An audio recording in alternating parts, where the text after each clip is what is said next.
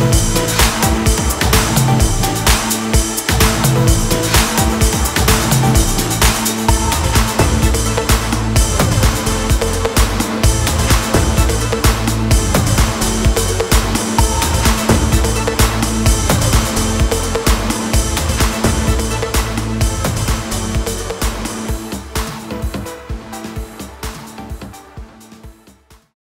chào quý vị và các bạn đã đến với kênh video phụ tùng phụ kiện của điện máy Bình Sơn. Hôm nay mình xin giới thiệu các bạn một chi tiết lắp trong máy cắt cỏ và cụ thể đó chính là bộ hơi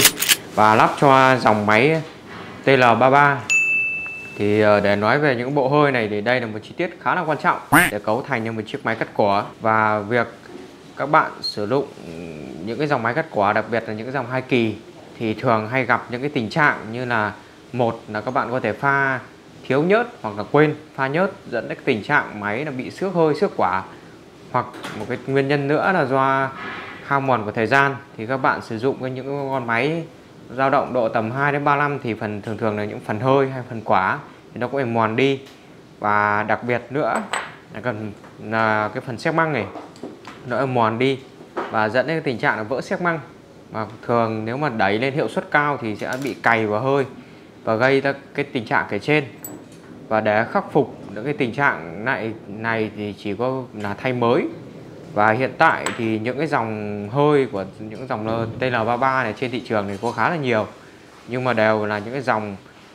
ờ, hàng trôi lối và không có thương hiệu rõ ràng cũng như là chất lượng vô cùng kém. À, việc các bạn đầu tư những cái bộ bộ hơi như vậy thì vừa gây tốn kém trong quá trình bảo trì bảo dưỡng cũng như vừa vừa gây mất thời gian trong quá trình sửa chữa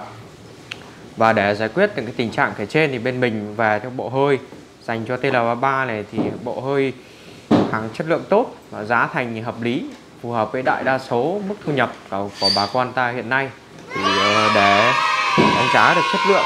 sản phẩm của bên mình vượt trội hơn những cái dòng trên thị trường như thế nào thì các bạn hãy cùng đi hãy cùng mình đi vào chi tiết để đánh giá chất lượng của sản phẩm. Thì ờ, về phần cảm quan đến bên ngoài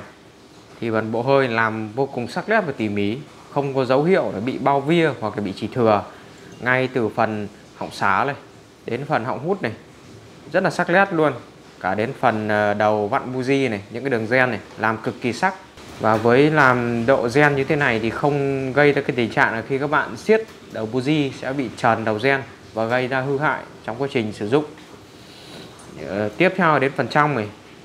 thì được phủ một lớp mạ liken này giúp tăng hiệu suất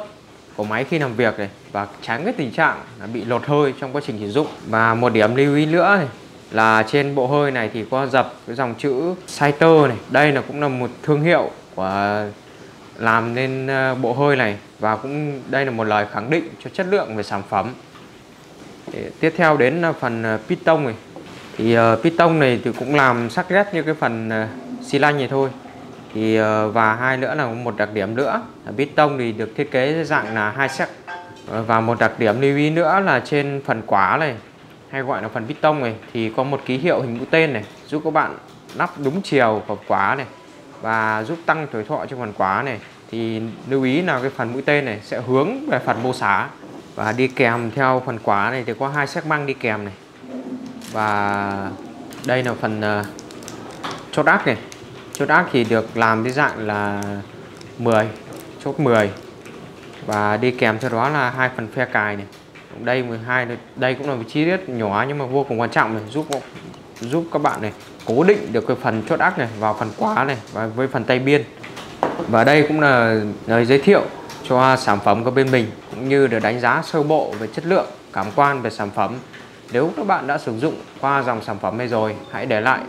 cảm nhận dưới phần mô tả để chúng ta cùng thảo luận và cùng đánh giá. Và sau đây để các bạn đánh giá được chi tiết hơn về chất lượng của sản phẩm bên mình, mình sẽ lồng ghép một vài video ngắn uh, tổng thể cũng như là chi tiết từng bộ phận để các bạn cùng đánh giá được hơn nữa. Và giá thì mình sẽ cập nhật dưới phần mô tả.